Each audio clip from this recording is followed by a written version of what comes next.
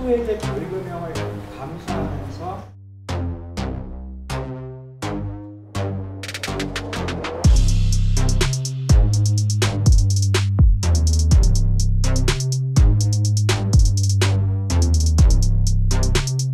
대법원에서 상고가 기각됐기 때문에 이제 양육자들 입장에서는 이제 두 가지 선택을 할 수밖에 없는 것 같아요. 이제 이렇게 되면은 양육비 미지급자를 신상 공개하는 것이 양육자들 입장에서 어, 그 소액의 벌금형을 받을 수도 있게 된 거거든요. 그러면 양육비가 내 아이의 생존권이다라고 생각해서 그걸 꼭 지켜야 한다면 소액의 벌금형을 혹시 받게 되더라도 싸워야 할 것이고 이걸 단순하게 그냥 개인 간의 채권 채무다 이렇게 보면은 소액의 벌금형을 감수하면서 싸워야 할 이유는 없겠죠. 그래서 결국은 오늘 이제 상고가 기각됐기 때문에 앞으로 양육비를 받지 못하는 피해자들이 내 소액의 벌금형을 각오하고라도 내 아이의 권리를 위해 싸울 것이냐 아니냐 이제 양육자들의 선택에 맡겨진 것 같아요. 그러니까 양애들 사이트가 5년 전부터 양육비 미지급자들 신상을 공개하면서 그 법, 그, 그 법적 서류를 통해서 그 미지급 사실을 분명히 확인했고요. 그래서 100%그 사실이었고요.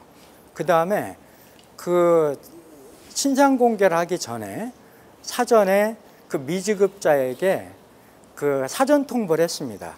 그 사전 통보의 내용은 당신이 지금 이렇게 제보가 들어왔는데 만약에 양육비 미지급을 갖다가 그 당신이 지급했다고 한다면 우리에게 그 지급한 내용을 좀 보내달라.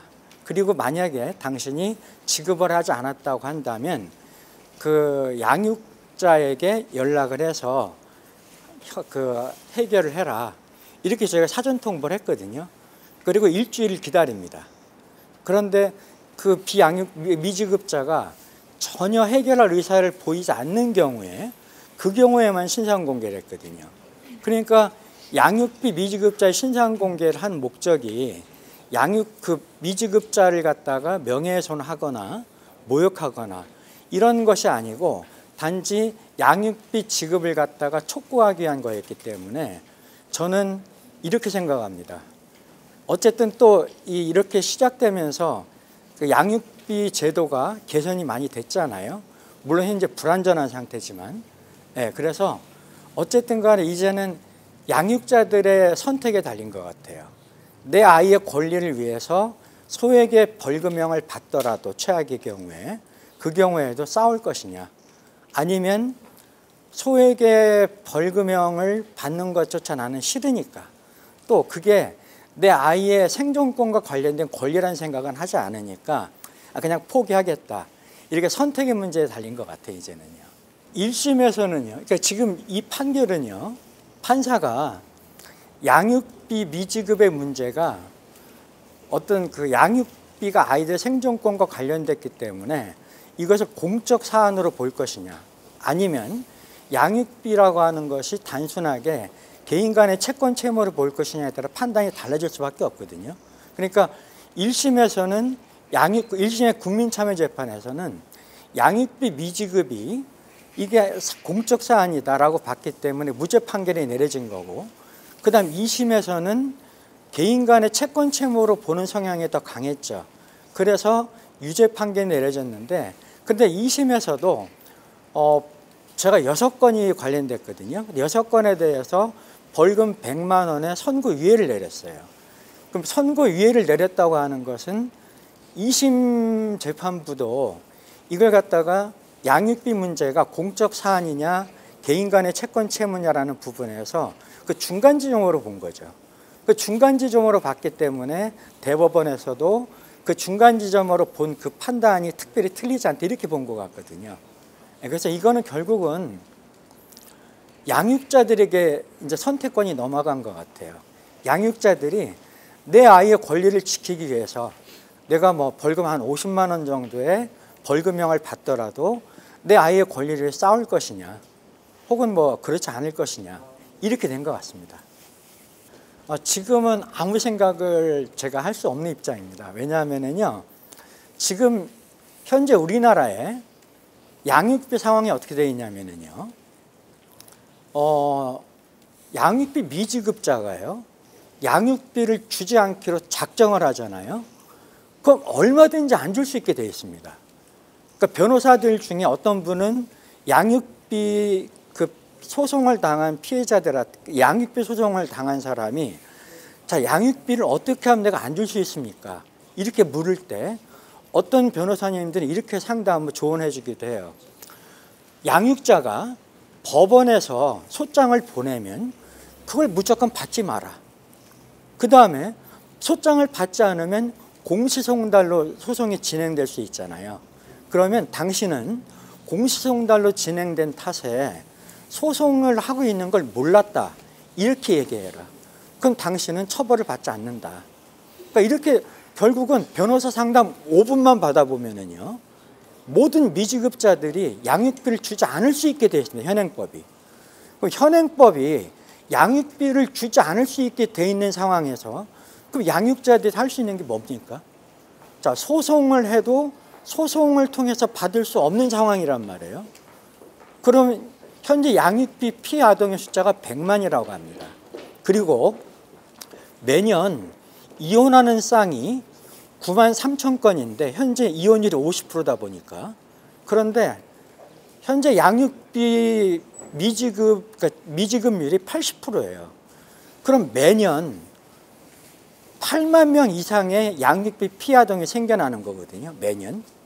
자, 그럼 이 현실에서 자, 소송을 통해서 받을 수 없고 양육비 피해 아동에서 100만인 현실에서 그럼 이제 소송을 통해 받을 수 없는데 예를 들어 신상 공개를 하거나 뭐 이랬을 때 소액의 벌금이 50만 원을 받게 되니 이제 다 그냥 포기하자. 또 이럴 수 있는 건 아니잖아요. 그죠? 예, 근데 제 개인적인 입장에서 그래서 어떻게 할지 지금 아무런 생각이 없습니다. 어, 판단을 못 하겠네요. 예. 오늘 선고 기각되는데 사실 2심에서는 그 처리 기준이 공개 기준이 일관적이지 않다 이런 법원의 내용도 있었잖아요. 아 근데 그거는 좀 잘못된 거거든요. 왜냐하면은요 저희가 그 미지급자들에게 그 사전 통보를 하는데요. 예를 들어서 지금 현재 양육비 소송을 했을 때 감치 판결이 잘 안 나오거든요. 왜 그러냐면요. 양육비 미지급자들이 위장전입을 해갖고 혹은 여, 그 양육자 연락을 차단해요. 연락을 차단하거나 위장전입을 하면 양육자는 미지급자의 연락처도 알 수 없고 그 다음에 주소도 알 수가 없어요. 그럼 그런 경우에는 사전 통보가 가능하지 않죠. 그러니까 저희가 처리하는 기준은 명확했습니다. 지금까지. 그러니까 우선 저희가 이걸 그 양육 양이 그 어, 양육회계라는 사람들의 그 양해들 사이트 운영자들이 자신들 본인들이 판단한 게 아니고요. 그 양육자가 제보를 하잖아요.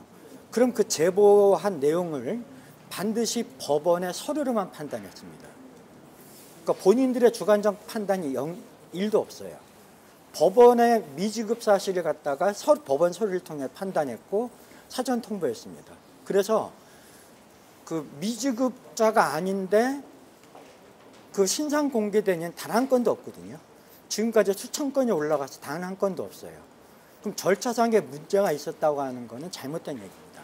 처음에 배드파서스 생긴 이후로 이제 여가부도 예. 그 공개를 하고 있잖아요. 양육비 예. 미지급자에 대한 그런 예. 변화 이끌어내신 거에 대해서는 좀 양육비 해결하는 사람들 사이트, 양해될 사이트가 생겨나고 나서 이제 법이 많이 바뀌었어요. 우선은 양육비 미지급자에 대한 운전면허 정지가 됐고, 그 다음에 또 출국 금지도 됐고, 그 다음 여가부에서 신상 공개를 했거든요.